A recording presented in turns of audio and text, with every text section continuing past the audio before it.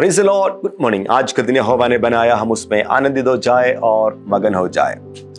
लूका सोलह का लूक का सुसमाचार सोलह में अध्याय उसका इकतीस। लूक चैप्टर सिक्सटीन वर्सेस 31 उसने उसे कहा जब वे मूसा और भविष्यवक्ताओं की नहीं सुनते तो यदि मरे हुए में से कोई जी जी भी उठे तो भी उसकी नहीं मानेंगे।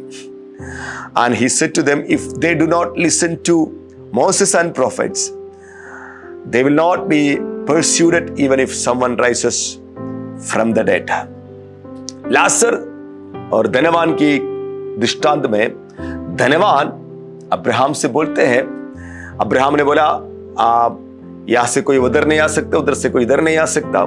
तब उसने बोला, ऐसा है तो एक काम करो, मेरे भाई लोग जो ज़िंदा है, अभी मरा नहीं है, ज़िंदा है, पृथ्वी पर है, उनके पास मरे हुओं के बीच में से, किसी को भेज दो, अब्राहम को भेज दो, लासर को भेज दो, किसी को भेज दो।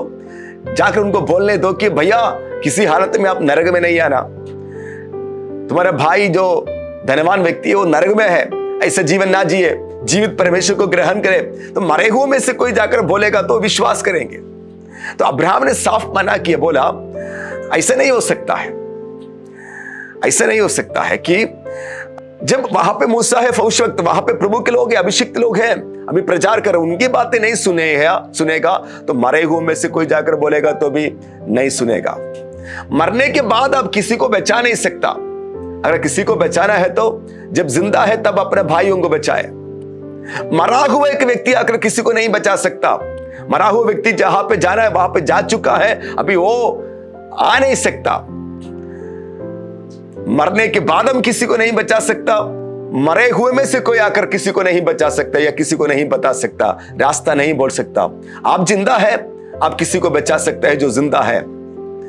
और आपके लिए परमेश्वर ने अभिषिक्तों को पास्टेस को, भविष्यवक्ताओं को ठहराया हुआ है। उनकी बातें अगर नहीं सुनेगा तो और कोई किसी को परमेश्वर भेजने वाला भी नहीं है। अगर पास्टर की बात नहीं सुन रहे, भविष्यवक्ताओं की बातें नहीं सुन रहे तो परमेश्वर भी किसी और को भेजने वाला भी नहीं है। पास्टर्स को, भविष्यवक्ताओं को सुसमाचारों को ही इस पृथ्वी पर रखा है। ये सुसमाचार बताने के लिए कि आप नर्ग में ना जाए नर्ग में ना जाए, स्वर्ग में जाए। ये बताने के लिए प्रभु ने अपने अभिषिक्तों को रखा है। उसकी बातें ना माने तो फिर और कोई ऑप्शन भी नहीं है। इसलिए हम जब ज़िंदा है, सुसमाचार बताए, लोगों के उद्धार के लिए हम परिश्रम करें, अपने भाइयों को बचा ले God bless you God be with you शालो